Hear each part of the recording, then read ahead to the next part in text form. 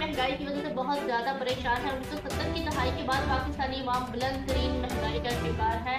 Consumer price index तो पच्चीस फ़ीसद है, मगर बताइए की महँगाई पैंतीस फ़ीसद से है। मजदूर की तनख्वाह में इजाफा ग्यारह से बारह फ़ीसद हुआ है, मगर आटे की कीमत एक सौ साठ रुपए किलो हो चुकी है।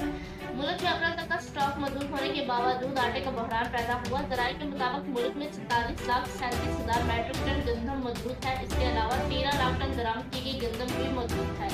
नेशनल फ़ूड सिक्योरिटी के मुताबिक पंजाब के पास एक सौ छह दिन, सिंध के पास अठानवे दिन और खैबर पख्तूनख्वा के पास एक सौ बावन दिन का गंदम का स्टॉक मौजूद है।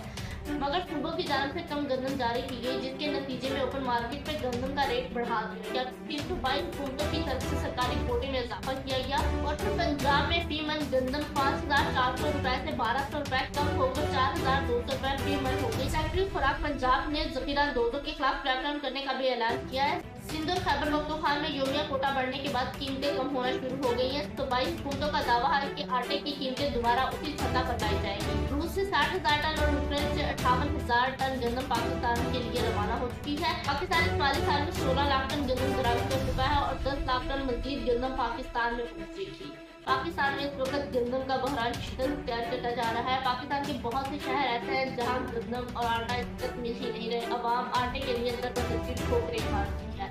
पाकिस्तान के बहुत से शहरों में न सिर्फ़ मर्द बल्कि औरतें भी आटा लेने के लिए घरों से निकली हुई है, मगर आटा नहीं मिल रहा और सड़कों पर लड़कों आवाज़ हो रही है।